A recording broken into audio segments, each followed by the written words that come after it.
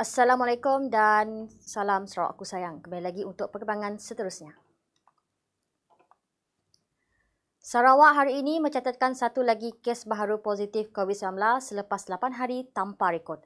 Menurut Jawatan Kuasa Pengurusan Bencana Negeri Sarawak JPBNS dalam satu kenyataan, kes tersebut adalah dari daerah Simunjan.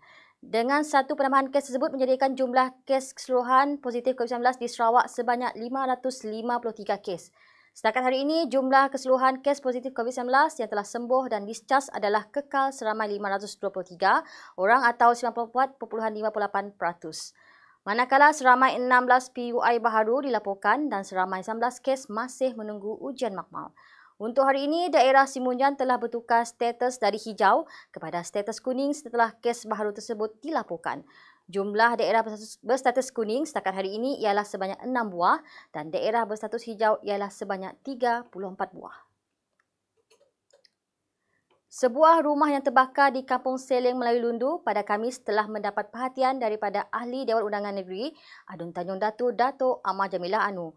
Menurutnya yang diwakili Ketua Pemuda PBB Tanjung Datu Azizul Anwar Perhin Sri Haji Adenan Pusat Khidmat Tanjung Datu akan membantu keluarga mangsa yang terkesan akibat kebakaran itu melalui projek penambahbaikan Rumah Rakyat Miskin Sarawak PPRMS.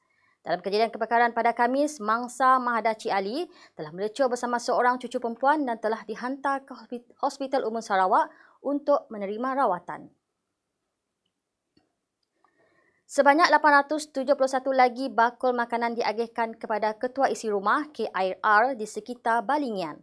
Agihan itu adalah sumbangan khas Perdana Menteri Tan Sri Muhyiddin Yassin dengan kerjasama Ahli Parlimen Muka Dato' Hajah Hanifah Taib untuk kawasan P213 Muka semasa Perintah Kawalan Pergerakan PKP COVID-19. Penerima kali ini terdiri daripada penduduk Kampung Penipah Muka, Kampung Matading Kecil Muka, Pasar Lama Balingian, Kampung Baru Balingian, Kampung Masjid Balingian, Kampung Pulat Balingian, Kampung Suyong Balingian, Kampung Lintang Balingian dan Kampung Kuala Balingian.